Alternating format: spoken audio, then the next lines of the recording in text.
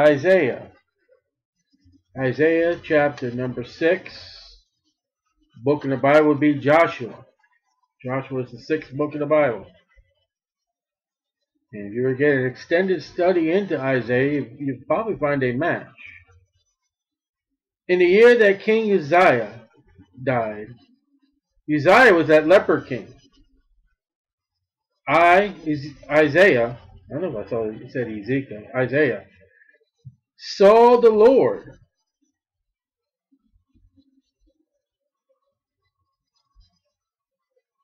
That's interesting. God is a spirit that Jesus said.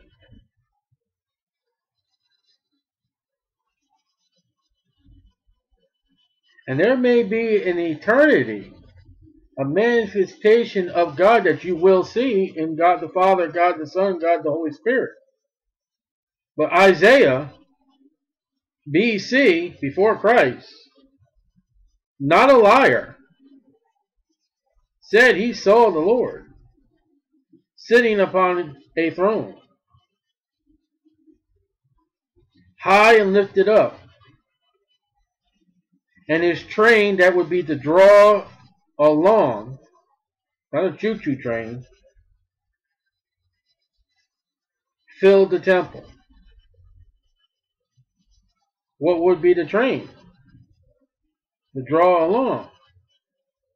When a bride goes down the aisle of her, of her marriage,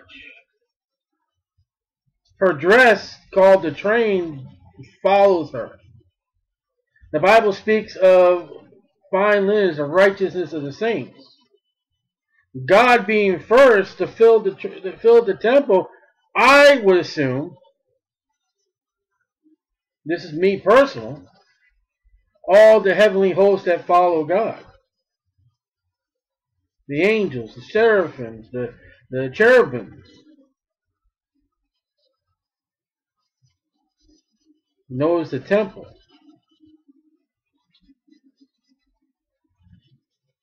in Jerusalem.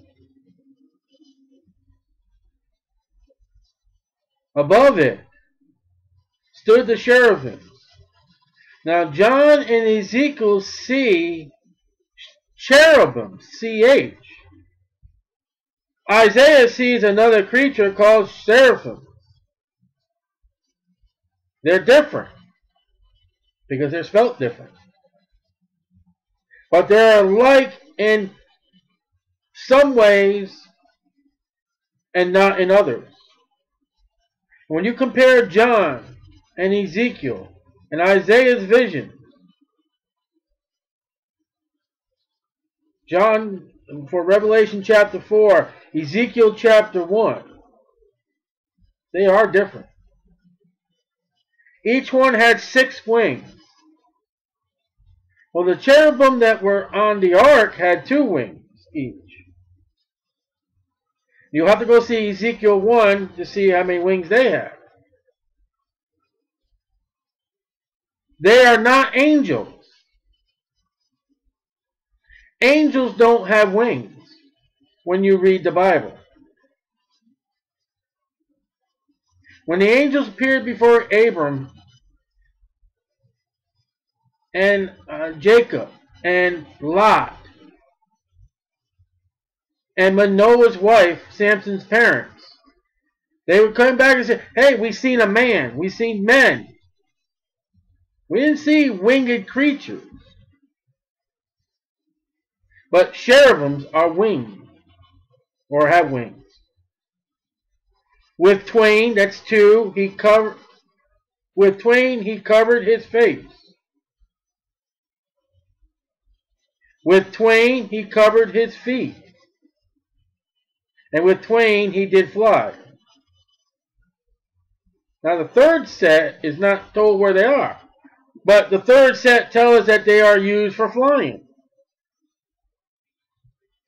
And the second set there with the feet, kind of interesting if you were looking at a, a tire company and they show a shoe with wings. I forget which Greek god that is. He's also symbolized in, uh, I think it's the florist. If not one, a communications plate. You know, here's his foot, and it's got wings.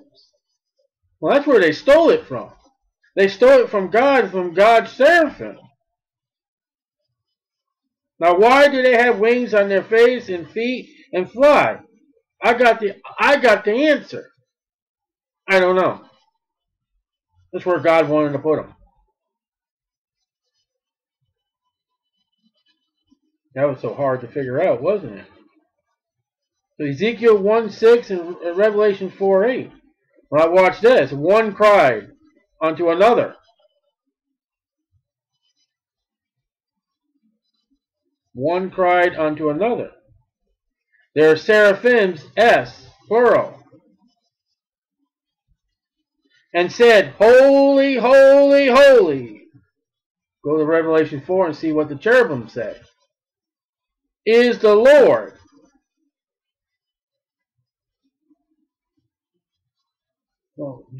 Isaiah says, I saw the Lord.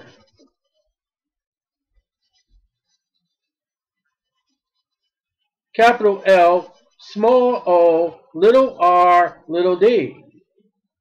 Holy, holy, holy is the capital L, capital O, capital R, capital D. Now get that. That's Jehovah. That is God himself that they are praising.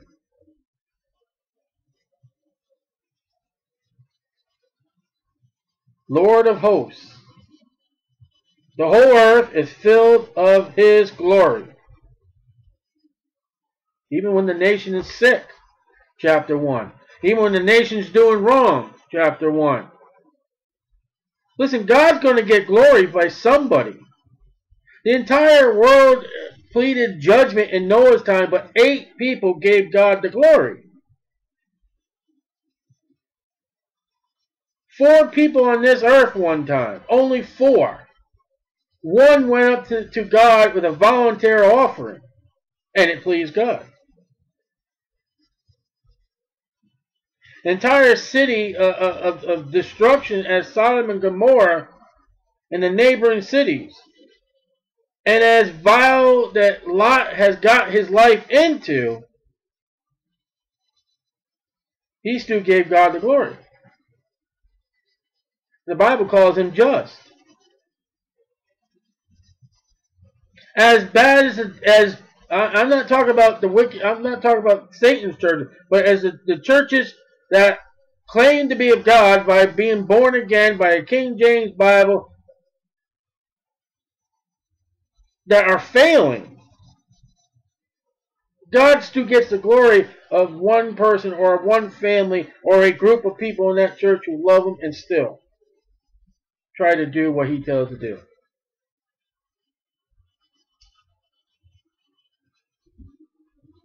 And the post of the door moved at the voice of him that cried. And the house was filled with smoke. And that's not that's not unholy smoke. There is actually holy smoke of God.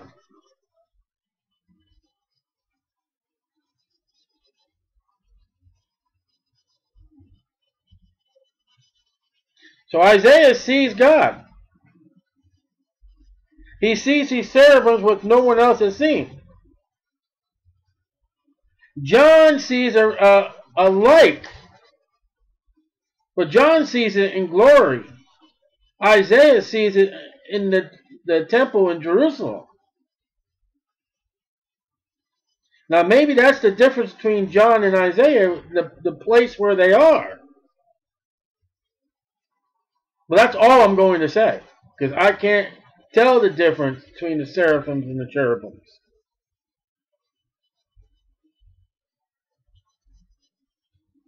Then said I, Isaiah speaking, Woe is me, for I am undone.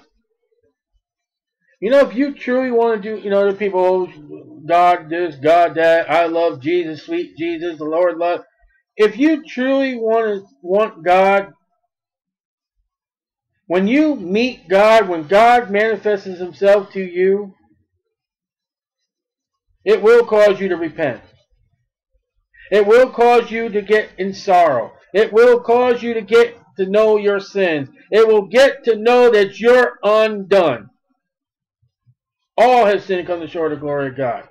It will not make you proud. It will not make you proud. It will not, oh, I've seen this angel. I've seen, you know, God in a piece of toast and, and God spoke to me and angel spoke to me. No. You'll fall down, get on your knees, and try to get right. Because you know you're standing before a holy God. And you'll be fear and tremble and realize that one wrong thing and God, you're, you're smoking you. You realize that God is holy and you're not holy. You are in the presence of God. How do you know if a message is really truly a message of God when you realize you're not holy? And God is reaching down from heaven speaking to you personally. And you don't have to go to an altar. Listen, if the preacher is halfway through the message or just began the message, before the message is done, you can get right.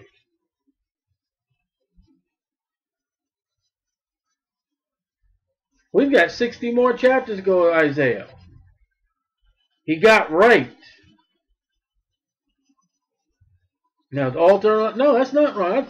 That's that's a public confession to get up there and say, hey, before everybody, I'm going to do right. There's something in my heart, whether right or wrong.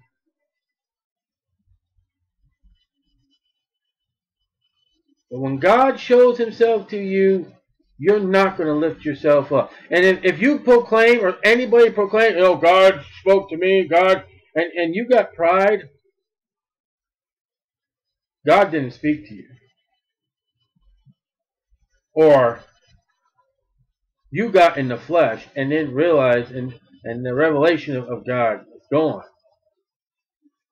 Because it says, Then said I, Woe is me, for I am undone, because I am a man of unclean lips. Ooh, you mean Isaiah is, is, is confessing that his lips don't say what they should? Go read what James has to say about the tongue. And I dwell in the midst of people of unclean lips. Know, not only am I unclean first, notice he puts himself first. It's not what the people three rows on the other side of the church is doing. It's what you're doing. That's first. Oh, America, America, America, what about you? Then when you're done with yourself and you're judging yourself, I dwell in the, in the midst of people of unclean lips. Let's go back to verse 1. In the year that the king Uzziah died, I saw the Lord. Capital L, small o, small r, small d. The cherubim are speaking before Isaiah. Holy, holy, holy is the Lord, capital L, capital O, capital R, capital D. I dwell in the midst of people of unclean lips, for my eyes have seen the King, capital K, of the King, the Lord, capital L, capital O, capital R, capital D, of hosts. Luke 5 8. Job 42 6, Isaiah saw God the Father, God the Son, and God the Holy Spirit. Look at that. And for your Jehovah Witness buddies, he saw the Lord, he heard the cherubims worship the Lord, Jehovah, and he said, I have seen the king. Well, who is that? Now, don't you think when Jesus is on Calvary's Hill, Pilate puts that accusation up there, the King of Kings. Don't you think that Isaiah chapter 6 came in the picture? Don't say he's the King of the Jews. Don't say that. Say he said he was the King of the Jews. I have written what I have written. Isaiah said, the king. There he is. In the Trinity. With God. Before his incarnation. Worshipped by Isaiah. As God. As king. And he hasn't even been born. He's not king now. He will be. Then flew one of the seraphims unto me. Oh, they fly. You don't see Michael flying. There's an angel in Revelation that's flying through the but where do you get the you know where do you get the wings? Oh, here we got wings, but where do you see that other angel with wings? You know, a rock could fly through the air that was thrown. It don't have to have wings. I can pick up my dog and throw him through the air and say, hey, look, my dog is flying through the air. He ain't got wings. Look at the leaves flying through the air. They don't have wings. You can fly and not have wings.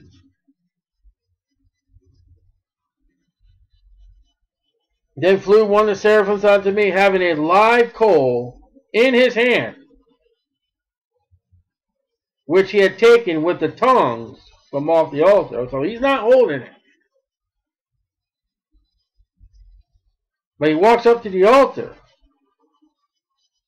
picks up a pair, uh, picks up a, a piece of coal from the altar, Jerusalem, and he laid it upon my mouth.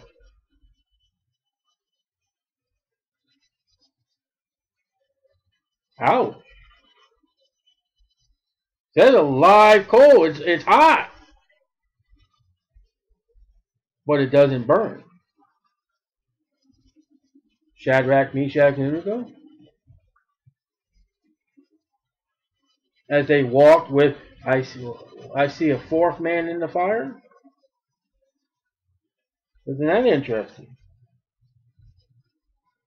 Lo, this has touched thy lips. Why? Because they're unclean.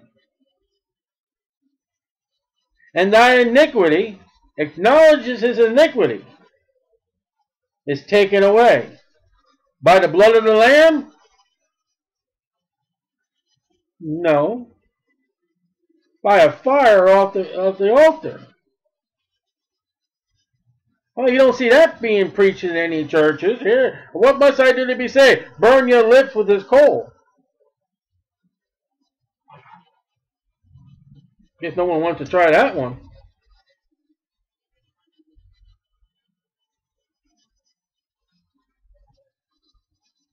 Thy iniquity is taken away, and thy sin purge, purity, cleanse. And not by blood. Old Testament is by fire. New Testament is by the blood of Jesus Christ, Hebrews 1 3 and 9 14. So people in the Old Testament are not saved like we're saved.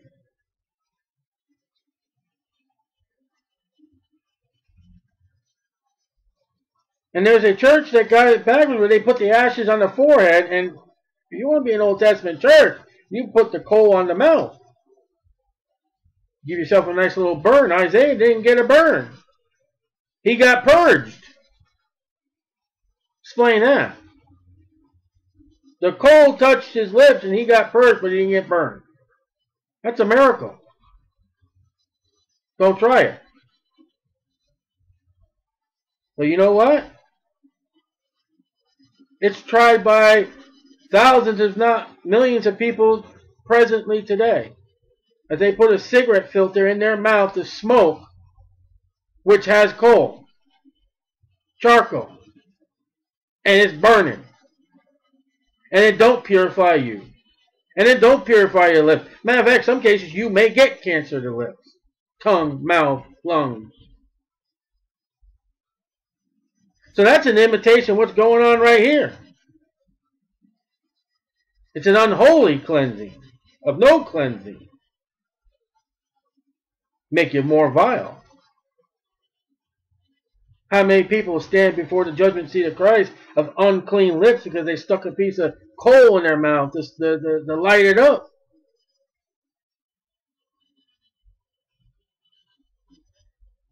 And, uh, excuse me, also I heard the voice of the Lord. Capital L, small r, small o, small r, small d. The Holy Spirit speaking. Whom shall I send? And who will go for us? There's the Trinity.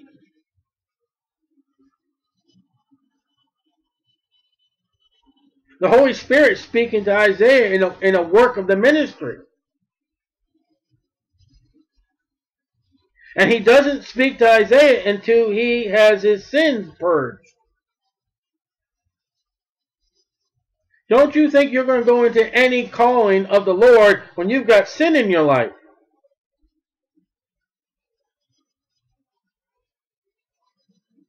The Holy Spirit did not speak until the sin was purged.